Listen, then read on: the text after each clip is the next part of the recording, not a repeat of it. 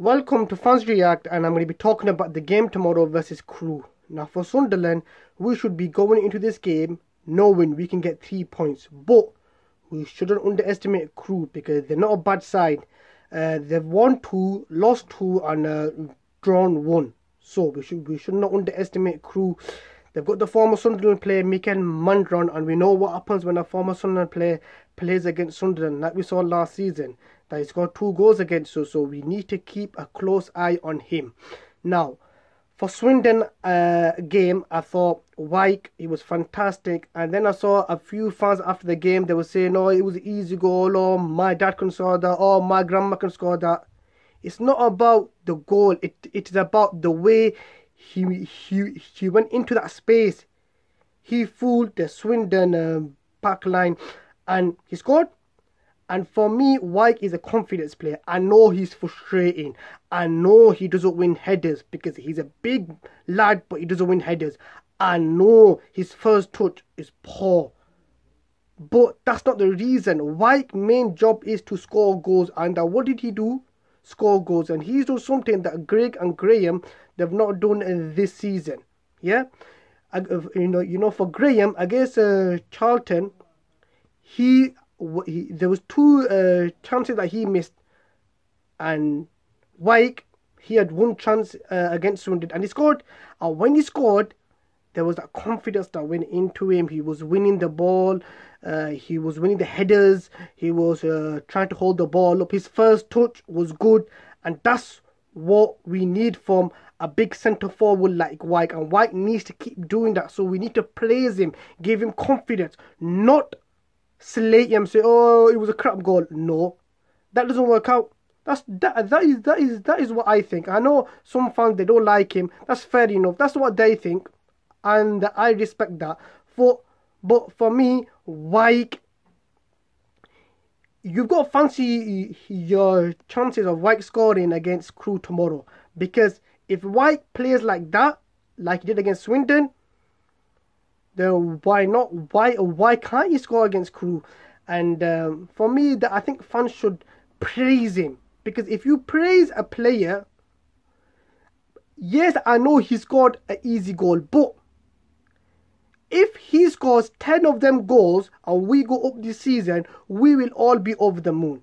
So, for me, why if he if he scores a five yard tapping, then going to be over the moon because he scored and we got the three points. That's the main thing. Three points and we go up this season. That's what is that is what the goal is this season. So Wyke he's doing something that Grigg and Graham and I know some fans can, can say Grigg and Graham they've not had the chances. Well, Graham he, there was his chance against uh, Charlton and he didn't score.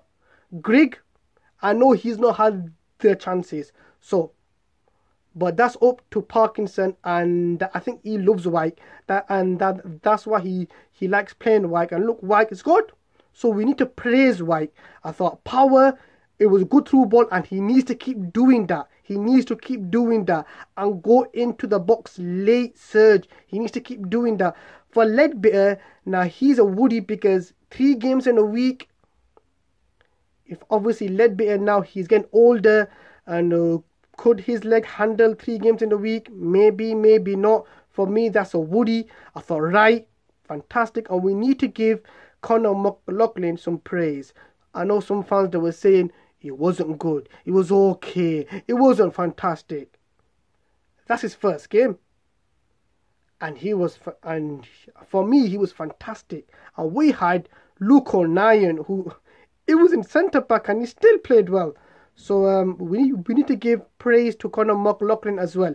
Um, for what I think the land will be is Lee goal, uh, and now the three centre backs. This will be tough. Now, um, we'll have I think we'll have Luke O'Nien, uh, Flanagan, and Wright. Now that uh, now the, I'm not sure about Sanderson because I'm not seeing him play, but I played with him on FIFA 20, and he was fantastic. So. Uh, fingers crossed he's like that, you know, in obviously playing wise, uh, in uh, real life. But um, uh, yeah, so I think it'll be them three centre backs, and then uh, the two wing backs. I think it'll be Conor McLaughlin and Gooch. Then it'll be Scowen and Leadbitter, and then Power in that hole, and then um, I think it'll be Wyke and uh, Chris Maguire. Um, for me, that I do want Grigg to play because there is a chance that he can score against Crewe. No disrespect to Crewe, but they're not that great uh, defensively, so we need to exploit that. But for me, I think what Phil uh, Parkinson will do is he'll play Wyke and Chris Maguire up top, and um, yeah, um, but we shouldn't underestimate Crewe because they can easily come and get a one-all draw.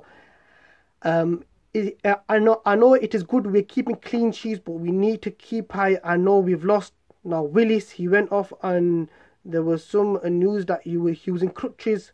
That is a big worry because Willis, he is a main part. Him or Wright, he's a main part. And if Willis, he is injured, then there'll be uh, more pressure for uh, Sanderson or maybe Taylor or maybe the uh, the the young guy that was on the bench, um, Young.